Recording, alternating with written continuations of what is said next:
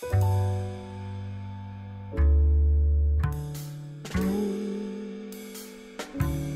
り名人さんが三浦半島で新鮮なカツオを釣ってきてくれました。半分はカツオのたたき半分はなめろうにしていただきます。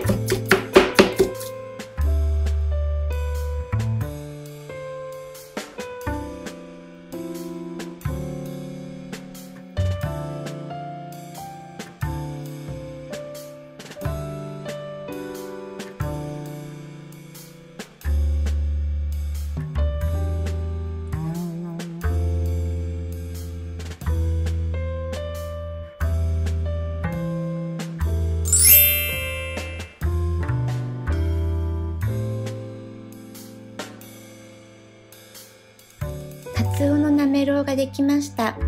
海苔に巻いていただきます。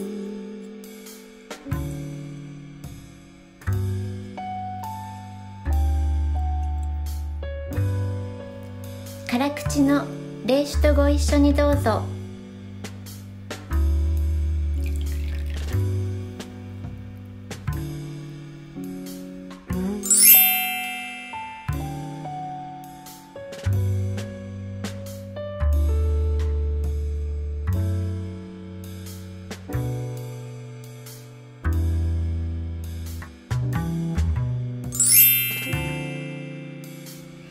つもいいねコメントありがとうございます。お料理のリクエストご意見ございましたらコメントお願いします。これからも秘密のレシピご紹介していきますのでチャンネル登録していただけると嬉しいです。サロンド M クッキングをご覧いただきありがとうございました。